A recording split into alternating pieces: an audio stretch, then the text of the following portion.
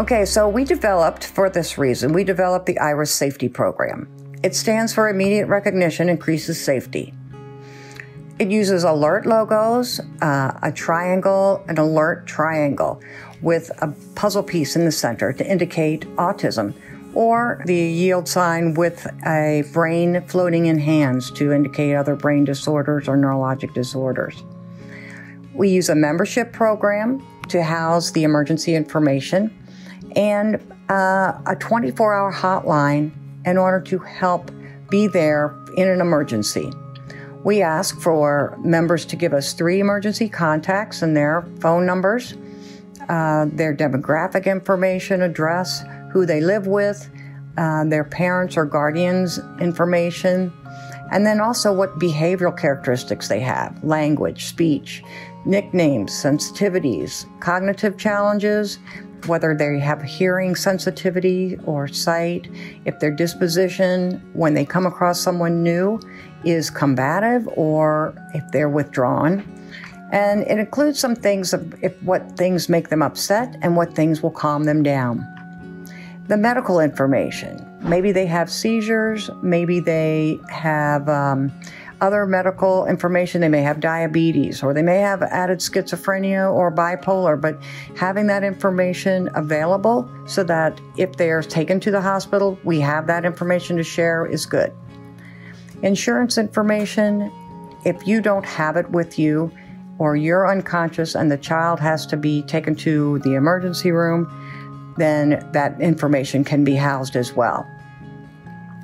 When they join, it is free. And we also send the member uh, to their local law enforcement and fire department. We send a letter giving them the member's name, address, and asking them to put it in their computer aided dispatch system so that when a call goes out, if it, your address pops up, it also will pop up that there's a child with autism there.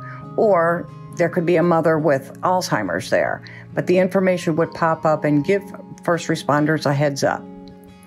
We also can refer to Project Lifesaver.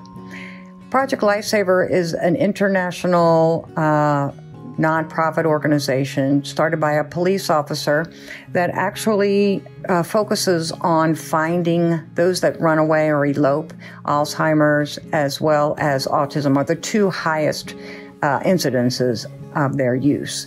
They actually um, work with the local police officers, and not every police uh, station or department has taken part in it, but they utilize a radio frequency system and a bracelet, uh, anklet bracelet. Um, and then the officers have to come out twice a year and change the batteries, but uh, they can use a drone as well to help find the child if they wander. And then the free app that I spoke about, Life 360, is um, available to help find them as well. Then, Autism FYI, we created another free app that has originally for those law enforcement officers, but can be used by anyone. It has information about what autism is, so it gives them characteristics. It also has um, picture language uh, tips on how to handle someone with autism, Miranda rights made easy, and um, a link to our 24 hour hotline. There's also five keys to de escalation. So, if an officer has never had to de escalate someone on the autism spectrum who's having a meltdown, the tips are right there on how to do that. And then, of course, training. We offer training um, online for free to police officers. We've housed it on firstforward.com.